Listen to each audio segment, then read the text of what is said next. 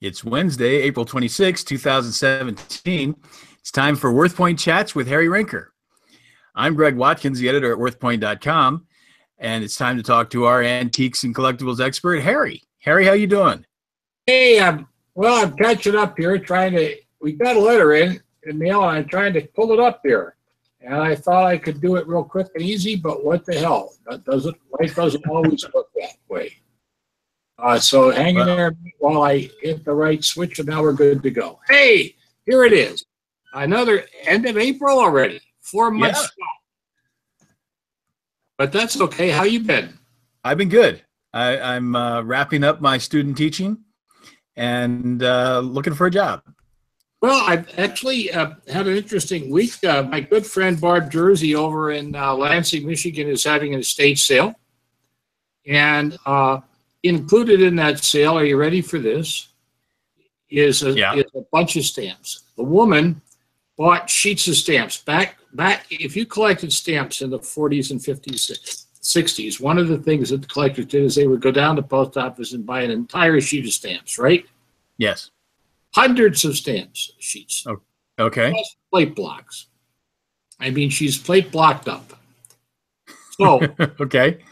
So you know, and and there was a time when those sheets were collected actively, right? And they were worth more than face value. But then there came a time when those sheets weren't collected actively. And you know, this goes right back to this whole problem that we face constantly in the antiques and collectibles trade, which is if something is collected now, there's no guarantee it's going to be collected tomorrow, right? Yes. So so what happened was is that the last time I checked on things, people were buying sheet, these sheets of stamps for about 80 cents on a dollar. So if you had a sheet with say 53 cent stamps on it, that was what, a buck and a half? Right. And you could get it for a buck and a quarter or buck 20. All right. Okay. Yeah. So, you know, here is this woman looking at these things, and these are in this estate, and the kids are saying, We don't care, just get rid of them, which is good because if they cared, They'd be they'd be all over the case for not selling them. But the thing about stamps, stamps is interesting. They're always worth the postage. As long as they're not used, the government has to honor them for postage, right? That's right. And one of the reasons a lot of people were buying old stamps at 80 cents of, of face value was they'd lick them and put them on envelopes. You ever get these envelopes with half a dozen different stamps on them? Right. But guess what? Not only are sheets no longer collected, but people got tired of licking the stamps. well, and, and 1940s stamps are only worth two and three, four cents. So you- No, no, but she had sheets up to the 25 cent range. So, you know, you could get two of those sheets and lick two of those and you get 50 cents, which is a penny more than regular stamps. And if you could buy them for say 80% of face, you can put two 50 cents, two 25 cent stamps off and still send it cheaper than paying 49 cents for a new forever stamp. Yeah, but right? then you get a, a, a gummy tongue. Well, that's right. And who knows how well the glue has held up over all these years. But so I, I had a, I made a, a bunch of calls to a bunch of stamp collectors. And, and here's what I found. I mean, there are still people that collect the sheets, but largely for the subject matter. You know, the baseball, the sports sheets, the, Right. Uh-huh. the military sheets, these these sheets, and and and, and you know, if you're from the state of Iowa, there's an Iowa sheet. You know, who knows what you pay. But the stamp dealers are paying forty cents on the dollar for them, and they're selling them Only at 60, 40. and they're pay, selling them at fifty to sixty cents on the dollar. So what she's what she you know, but you got to love estate sale people because their sense of optimism is overwhelming. So here's what she's doing: her estate sale open tonight, and she's going to sell them for face value for day one and two. Anybody who, well, the thing about it is, let's suppose you collected Civil War, right? And here's Right. a bunch of stamps from the 60s, 70s, and 80s related Right. to The commemoratives like the Battle of Shiloh in the wilderness. I have, I, you know, so you go in there, you go in there and say, okay, you know, I'll pay, I'll pay face for sheet to frame it, right? Buy Yeah. it for the decorative value, not for their stamp value. So I suspect she'll sell some. Then on day four, day three, it's 35% off, and day four, it's 50% off. Now I try to encourage her to call a stamp dealer in and and simply try to sell them the whole pile, you know, at one swoop. Because you know, if he comes in there, he's going to find it picked over. and that is not going to encourage him to pay a lot, right? Yeah.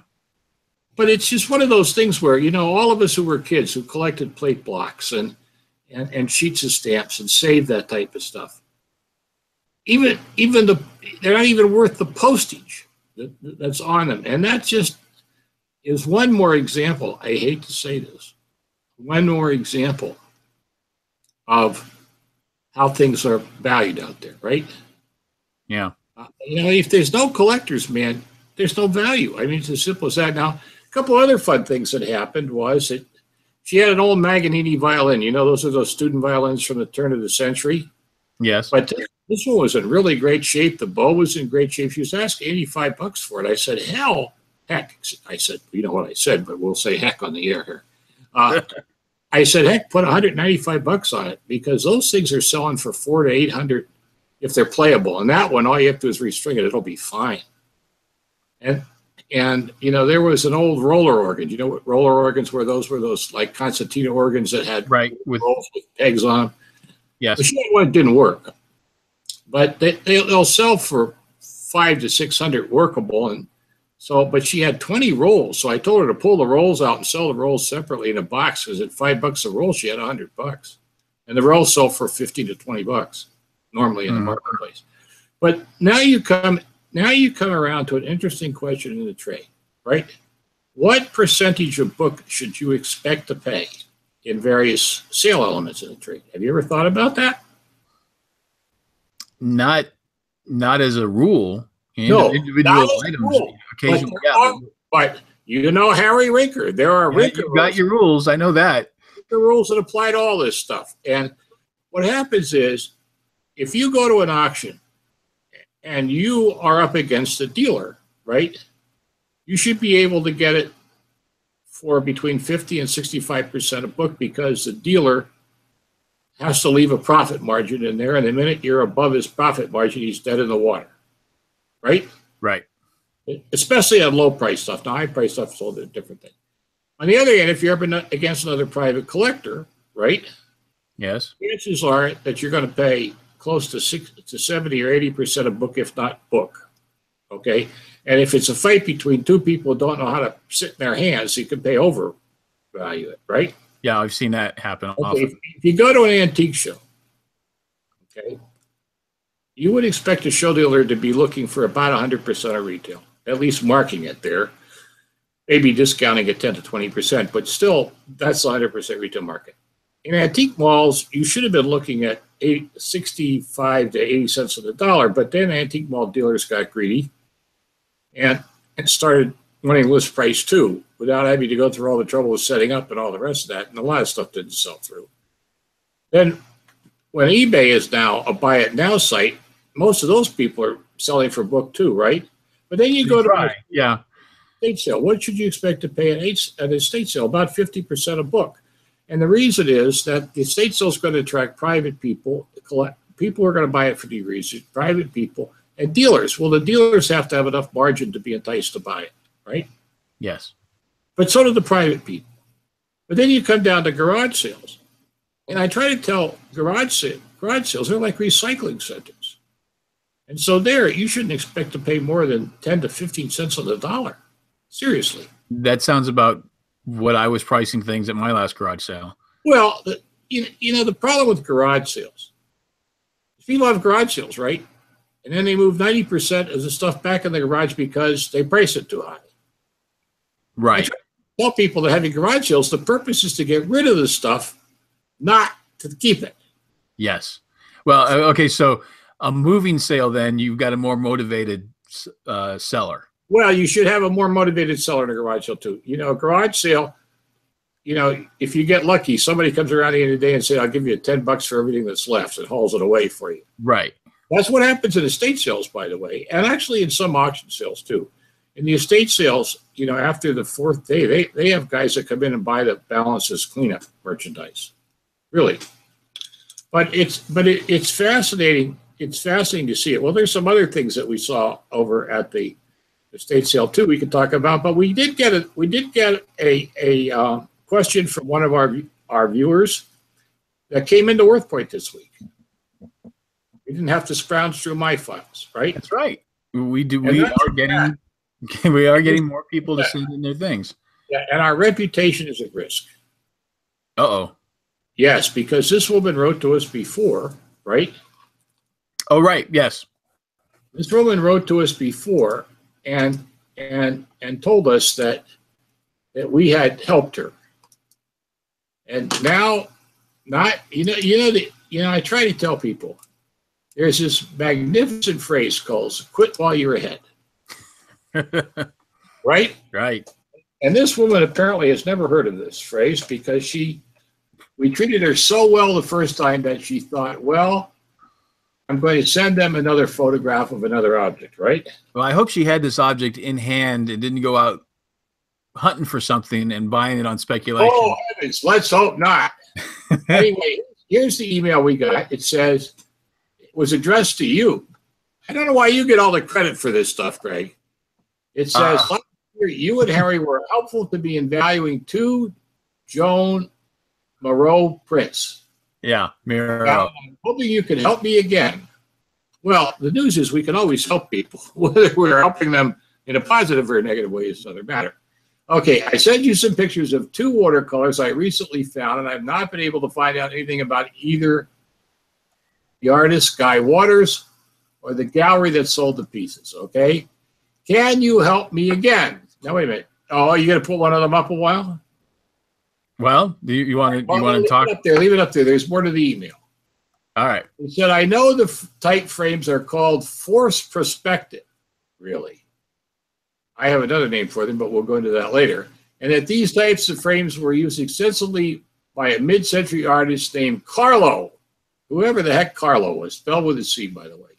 The artist worked in California, has quite a following for his work. I'm hoping that perhaps these watercolors might be of some value to these collectors or just to anyone who enjoys mid century works. I'd appreciate any help you could give me in coming up with a fair price for these watercolors, right? Right.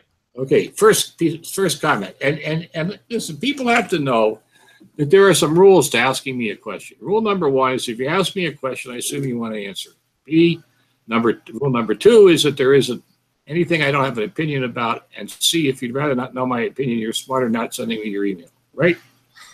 All true. All true. I mean, because I am a no holds bars, no punches pulled. Now look, All true. whatever whatever she paid for this is more than they're worth. Okay, so let's deal with basics. All right. Well, first of all, I it, it- that just looks like a an inexpensive wooden frame to me. It may have some distress value on the wood where they created that driftwood effect, but I don't think the frame has value independently. And if it does, it's probably not more than ten or fifteen bucks, right? Okay. Now, now you you said in some of my courses, did you do the painting one that I did? No. No, I did not sit through that one. That one. One of the things we we painting uh we, we worked hard in the painting authenticating class and so forth is, is to use a basic principle, and that was does it look valuable? Okay. Does this look like a highly trained academic artist? No. Mm, No. No, you don't. I don't think so. And the other side of it too is that that that is a long way from abstract. That looks like that guy that used to do those paintings on public television in five minutes. Bob Ross. Okay. Yes, I don't see any artistic quality in the two paintings. Yeah, well, here's the name of the game, right? She asked for my opinion. But okay. But I realize that there are painters who paint paintings that I don't think a lot of and still have value. All right.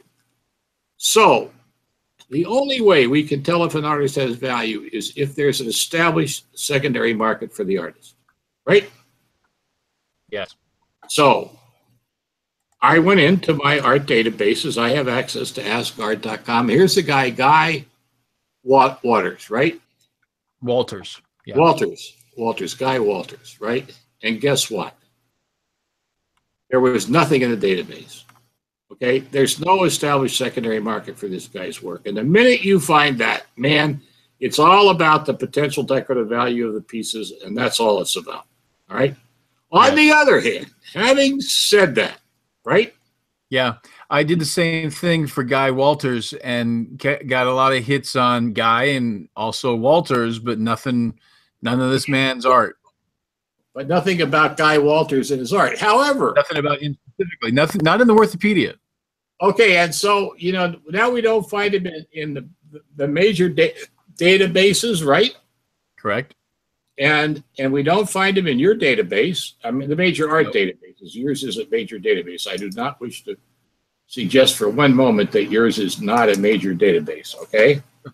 Yes. All right. But, but anyway, but lo and behold, thanks to your diligent efforts, and so maybe she should really, really credit you, right? Yeah, I, I found one. Yes, you did. Much to my surprise, I will tell you. And, and without sounding rude, if you compare the signature, right? Yeah, there's there's one signature. And and and it looks like the signature on there, right? So heaven forbid it's the same guy, right? Looks pretty close. Right. So, what did you find? Well, this uh, this particular watercolor is for sale. Yeah. And uh, how much are they gallery, asking? For? They're asking uh, five hundred ninety-five dollars. In the fairly large painting, twenty-eight by uh, thirty-six. Sale at, by the way. Uh, it's a place called Urban Americana. It's In design. So my guess is that's a design price right there. Well, not only is it a design price, it's an idiotic price. okay. no, seriously, come on. Uh, I, I mean, ser- seriously, uh, in, in, in all fairness to everybody that we're talking about here, right? Who, who, who in their right mind would pay $600 for that painting? For an artist with no track record whatsoever? Seriously. Well, if you like sailboats in a canal. Right. And, and, and if that's for sale on the West Coast or somewhere, then by heavens to Betsy, it's there. But now there's a good news. The good news, I, and I hate to say this, the good news, okay? And I'm just double checking the AskArt database for Guy Walters to make sure that I was right in saying that he doesn't exist there, and I am correct in saying that he doesn't exist there. Okay, now there are you know, decorators don't give a hoot about long-term value, right? All they care about is what can I get for it. And look where it came from. Modern Art Gallery in Los Angeles, California. And yeah. you, and you see the 16 on there? Yeah, that's a zone number, isn't it? Well, yes, but what does it tell you? What does uh, I don't I don't know Los Angeles zones. How does it help you date the painting? Come on here. Well, yeah, it's uh, pre zip code, and uh, that's right. The zip code came in when? Sixty. Ugh. Oh come on what, now! You, I've been hammering this into your head. This this is you know this is one of those dates that everybody yeah. in the trade should know. I mean seriously, it is a date that everybody in the trade should know. The zip code, the five-digit zip code, is different from area codes, which didn't all arrive at the same time. So you can't use area codes and telephone numbers easily to identify and date them unless you do extensive research on the telephone, on the zip, on the area code number. But in terms of the post office, the five digit zip code arrived on July 1st, 1963. Three, okay. So you know that that this painting was sold by this modern art gallery, all right, in the mid 50s or in the 50s or 60s, early 60s, yeah. right? So, I mean, it, we know where it comes from, and and so here's the name of the game: you send it back out to California, somebody might get excited about it, or or because it's a southwestern shoe, you got to sell it. But you're right, you got to sell it for its decorative value. But decorative value is not 600 bucks. No. Now, here's the name. Here's the name of the game. If I was advising this person about these things, right? which we are to some extent, right? Yes. I would say to this person as follows sell them as a pair. Don't don't try to split them. And any and here's my here's my philosophy. 50 to 75 bucks will sell them quickly. 100 bucks might sell them. Anything over 100 and a half is going to be a struggle. I, I mean, it would be nice if they were better, but I mean, there's no track record on this guy. And forget the $600. Nobody's going to buy that painting for 600 bucks. Nobody's going to buy you, you know, here's here's a good here's a good question for you. Okay, hmm what you remember that? Remember the seascape we saw? Now notice notice I just raised its value by the way I referred to it. A seascape, yeah. Yes, instead of a bunch of stupid boats in the water. Uh, but okay, but you assigned watercolor. What does that mean? In an oak and linen frame. Ah, jeez. But what? All right. It, let's let's play the what would sell it quickly number game because that's a game that everybody should play when they're looking at something, especially dealers who are. What can you sell it for in a week or a month at best? What do you think? Are, are we talking about this painting or the or the Yeah, the yeah, Southwest? this- paintings? no, this one, the the the, the, the seascape. All right. So um, 65, 85 bucks. Well, are we using adjectives A hundred would push it for this. or adverbs? What? Are we using adverbs or adjectives? No, I, I think that I think if the, the the realistic value of this painting is 65 to 85 bucks. Okay. I mean, it's, I mean, it's good size. What is it? 25 by 36. 28 by 36. And Yeah, that's I mean- probably the frame size. Okay, but that's but that's it's good size. But my lord, it's a terrible artist. It's not modern enough to be modern. It's not abstract enough to be abstract. It's not realistic realistic enough to be realistic. It is the nebulous school of painting. You know, you're talking about your rules. I We're remember probably going to get sued by the guy that's trying to sell this, by the way, at this point. But what, possibly, yeah.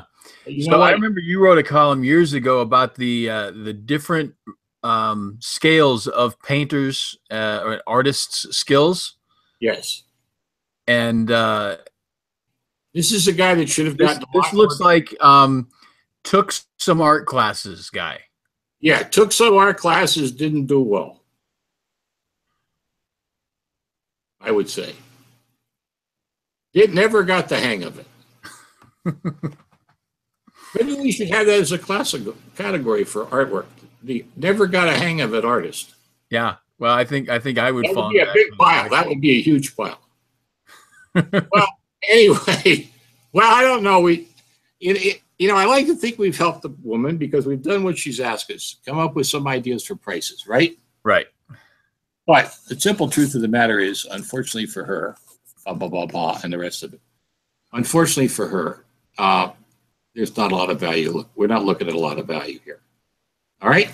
Yeah. But if you're willing to have your work subjected to this type of high, really severe criticism, no, or would like us to know what we what we think, send your question to community at worthpoint.com. There we are.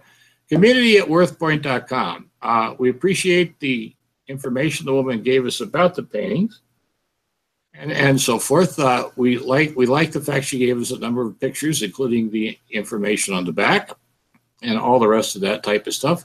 Also, if you'd have a topic you'd like us to discuss, well, we're good. We're good to go there too, and that is that we would be more than delighted to talk about any topic. Uh, as I told you, there's nothing in this trade I don't have opinion about. And so, uh, if you have a thought on something, or maybe you don't like what we had to say about something, you want to take issue with us, hey, we'll read that on on the uh, uh, during the course of the program too. Community at worthpoint.com. All right. Yep. Well, I want to I want to end um, the uh, session by talking about World War One. Strangely enough, remember Okay. we remember we talked earlier today about stamp collecting, and if there's no buyers, it's there. Well, we're we're in the 100th anniversary of World War One right now, right? America's Yes. entry into World War One, and it'll be over on the 11th day of the 11th month on the 11th 11th hour in France in 2018. That's when the war ended, right? Yes. And who cares? I, I mean, it's really interesting. America has done little to celebrate the World War One. In fact, I was reading an editorial in in in, in uh, one of the trade papers. The uh, here I'll get it up here. Get a plug for the trade paper here. The uh, Great Great Lakes Trader. Okay, and the the woman wrote an editorial. First of all, she started the editorial by talking about how little interest has there's been in the 50th anniversary of the Vietnamese War, and as you know, the the major group of veterans today are Vietnamese veterans, not World War II veterans anymore. And then she went on from there to say, look, you know, it's the 100th anniversary of World War One, a, war that the war to end all wars, you know, a very patriotic thing. Now, you would think that 100th anniversaries would still draw a crowd, so to speak. Now, we know 150th anniversaries don't draw a crowd, and we know 200th anniversaries aren't so hot. We'll see how the 250th anniversary of America revolutionary events that are coming up in a couple years does. But the truth of the matter is that 100 should should be there, and we're we're not doing much of anything now. There's some museum exhibits at military museums and so forth. And I, when I was in Washington last week, I th- think I mentioned I was up in the Library of Congress, and there was an interesting World War One exhibit in one of the wings of the Library of Congress building. And I, that pulled together some of the some of the posters and maps and other things from the library's collection, and it was fun to see it. And people were poking around in there, but nobody was spending any time looking at the exhibits. Nobody was spending any time really deeply involved in looking at the exhibits. And when you go up to Militaria, world, it's you know you want you want I want to write a book called The Forgotten Stuff from Forgotten Wars I mean, back in the 1980s when I first started tracking the market stuff, Spanish American War stuff was hot. Nobody cares anymore about you can't even give Spanish American War stuff away. And the same is true for World War One stuff. Now, maybe some of the helmets and, and the rifles and so forth, but but it just is like somehow somehow along the way interest in World War One has just disappeared. I mean, it's not that there aren't some devotees in the reenactment groups and whatever, but the nation as a whole has no identity, no identity with World War One. Now it'll be interesting to see what happens when the 100th anniversary of World War II comes around. When the 50th anniversary came around, there were so many people still living that you know the post office did all these magnificent sheets of stamps centering around the war. You know, a different set of uh, different painted stamps for each year of the war and all that type of stuff. I don't think I don't see it happening. No. Well, in fact, I got to tell you, nobody nobody alive today that's got any any connection to the war anymore. That's right. That's that's right. And and they're not spending any time teaching it in school other than here here was a series of years in which the world was at war, uh, and here's an important date or two, but there's no um, there's not there's no in-depth study of of the war so that makes sense that not many people are interested in it yeah among the stuff that that the scale had at the estate sale was a bunch of world war one liberty bond loan pins you know that they, they sold liberty bonds during world war one as well as world war two right and yeah. you know you see newsreels of the hollywood stars selling liberty bonds for world war one and whatever charlie chaplin was one of the big sellers. I'm trying to remember Mary Pickford, Charlie Chaplin, Douglas Fairbanks. I mean, they were big in that type of stuff. So you see a pin from that era, right? We're talking about a pin that is 100 years old. You get 50 cents or a buck for it. That's a lot. Yeah. Well, if you remember a few months ago, we had those we had those baseballs that were donated from the from the Y to the soldiers. That was in World War II. No, I thought it was World War, it was in World War One. Right, right. But but they they had value only because they had the YMCA and the bat, and they were signatures of famous ball players, and some signatures are worth more than others. That's right. There was the the fact that it was World nobody War One was them. ancillary. Nobody bought them because they were played with on a World War One military base. Exactly. They were they were so, their sole value, remaining value was was, was their was sports value. That's right. To the, to the signature of the, of the player. So fortunately, that that they had some value, but all the World War One literature now World War One posters are a whole other matter because they're they're sold as that art. Is brilliant, yeah. Yeah, the art the art's spectacular, as a matter of fact. All right. Well, here again, as the Car Talk people would say, people wasted another perfectly good half hour with us today. Uh, and we have some fun stuff coming up. But again, let's get that uh, that that logo up there. Community at worthpoint.com. We really, you know, as much as I love doing this, and and certainly I'm not going to run out of stuff to talk about. We would love to respond to what you would like us to talk about. So if you've got any ideas, thoughts, want to share your comments with us, uh, send us images uh, for us to talk about on there. Send it to community at worthpoint.com. Meanwhile, we'll be doing this next week at the same time, as they say. And uh, say, uh, say good night to everybody. All right. Well, good night, Harry. And uh, good night, everybody else. We'll see you next week. Let me get this slide up a little bit delayed here. All right, Harry, you have a good one. Hey, you too, buddy. All right. Bye bye.